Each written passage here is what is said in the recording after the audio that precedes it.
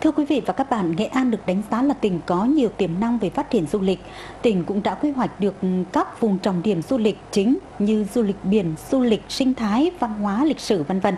Và những năm qua, du lịch Nghệ An đã có bước thay đổi cơ bản, lượng khách và doanh thu du lịch tăng đều hàng năm. Với 85 km bờ biển trải dài, có nhiều bãi tắm đẹp, Nghệ An được biết đến là điểm dừng chân lý tưởng cho nhiều du khách trong và ngoài nước khi tham gia hành trình các tour du lịch biển đảo khu vực miền Trung. Bởi Nghệ An không chỉ có bãi biển Cửa Lò hấp dẫn, mà còn có bãi lữ resort, nghi thiết, cửa hội, biển Quỳnh cũng không kém phần thú vị. Năm 2013, du lịch Nghệ An đã đón gần 3 triệu 300 nghìn lượt khách, trong đó khách quốc tế đạt hơn 83 nghìn lượt. Doanh thu du lịch ước đạt hơn 2 nghìn tỷ đồng. Tôi thực sự ấn tượng khi đến Việt Nam và Nghệ An. Con người ở đây luôn thân thiện, cởi mở. Chúng tôi sẽ còn trở lại Nghệ An trong những lần sau. Nam Đàn là vùng đất có nhiều tiềm năng phát triển du lịch, văn hóa, lịch sử và tâm linh. Theo khảo sát, Nam Đàn hiện có 12 di tích được công nhận là di tích cấp quốc gia và 9 di tích cấp tỉnh. Trong đó có những di tích là địa danh du lịch nổi tiếng gắn với những danh nhân kiệt xuất làm rạng danh cho vùng đất.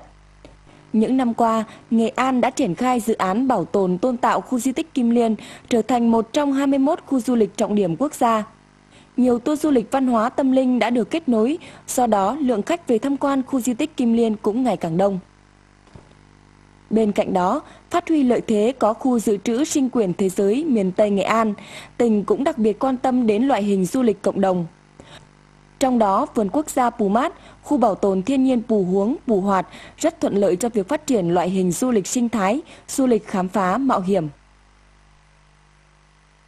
À, vườn quốc gia Pù Mát định hướng là sẽ à, phát triển cái à, trung tâm à, giáo dục môi trường và dịch vụ môi trường rừng Đấy, để mà có những cái quan tâm đặc biệt đối với cái hoạt động du lịch để mà thu hút người khách du khách cũng như là À, khách trong nước và khách quốc tế kêu gọi các cái nhà đầu tư ở trong và ngoài nước cũng như là các cái doanh nghiệp trên địa bàn để đầu tư vào phát triển các cái loại hình du lịch cái thứ ba nữa là vườn gia Phú Mát cũng phải xác định rằng à, là một cái ừ, điểm đến hấp dẫn của miền Tây Nghệ An và trong đó đặc biệt quan tâm nhất đó là cái loại hình du lịch sinh thái gắn với du lịch văn hóa của các cái đồng bào dân tộc sinh sống trên địa bàn.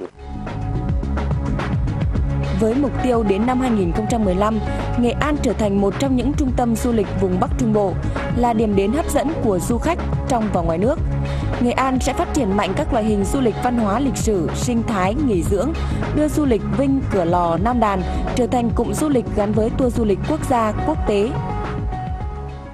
hưởng ứng cái năm du lịch quốc gia 2014, Nghệ An phải tập trung cao để đầu tư nâng cấp các cái chất lượng sản phẩm và đặc biệt là chất lượng dịch vụ để thu hút khách du lịch đến với Nghệ An ngày càng đông hơn. À, tôi thì nghĩ rằng là à, trong cái quá trình phát triển du lịch thì cái quan tâm hàng đầu của chúng ta vẫn là khách nội địa và sau đó thì tập trung thu hút khách quốc tế.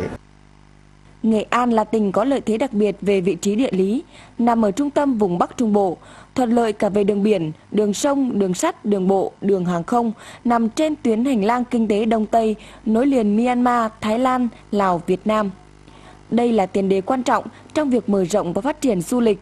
Với những tiềm năng, lợi thế và các điểm du lịch hấp dẫn, năm 2014, Nghệ An phấn đấu đón khoảng 4 triệu lượt khách, doanh thu du lịch đạt gần 2.500